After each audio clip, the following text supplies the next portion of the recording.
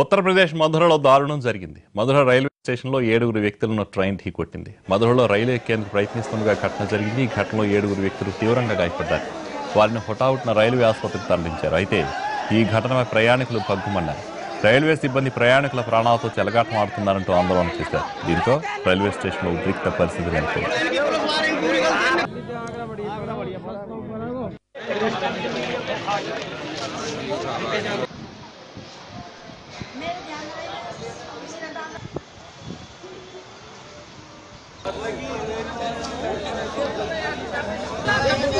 चल चंबू बुला दे चंबू बुलाइए